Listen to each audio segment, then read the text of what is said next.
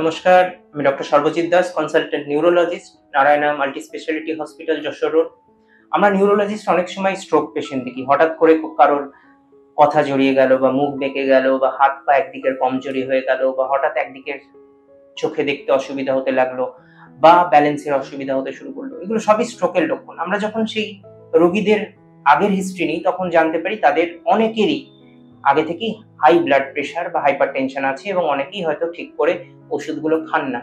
তো এটা জানা খুব দরকার যে হাই ব্লাড প্রেশার বা হাইপার টেনশন থাকলে কি কি করার আর কি কি না করার। এ নিয়ে সামান্য কটা কথা বলব। খাওয়া দাওয়াটা খুব ইম্পর্টেন্ট স্বাস্থ্যকর খাবার মানে শাকসবজি ভেজিটেবলস বেশি করে খান।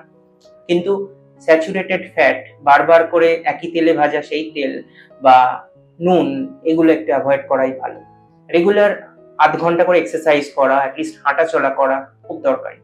রিল্যাক্সেশন এক্সারসাইজ বা যোগা এগুলোও কিন্তু খুব দরকারি। শরীর বা মনের স্ট্রেস থেকে দূরে থাকাই ভালো। শরীরে যদি অনেকদিন ধরে কোনো অস্বস্তি বা ব্যথা থাকে কোনো রকম, তাহলে ডাক্তার দেখিয়ে নেওয়াই ভালো। রেগুলার প্রেশার চেক করান এবং ডাক্তার যে ওষুধ দেবে সেগুলো কিন্তু রেগুলার নিয়মিত খেয়ে যান, কখনো কোনো অবস্থাতেই বন্ধ করবেন না। ডক্টর না অ্যাডভাইস করলে। আপনার যদি ওজন বেশি থাকে, ওজন কমানোর চেষ্টা করুন। যদি কোনো রকম নেশা, যেমন স্মোকিং অ্যালকোহল এগুলো থাকে, তাহলে সেগুলো থেকে আস্তে আস্তে দূরে থাকাই ভালো। ঘুমের সমস্যা থাকলেও কিন্তু সেগুলো তাড়াতাড়ি সলভ করে নেওয়া দরকার। সাধারণ কয়েকটা টিপস মেনে চললে এবং ওষুধ খেলে কিন্তু আপনি অনেক ভালো থাকবেন এবং হয়তো স্ট্রোকের থেকেও নিজেকে বাঁচাতে পারবেন। নমস্কার।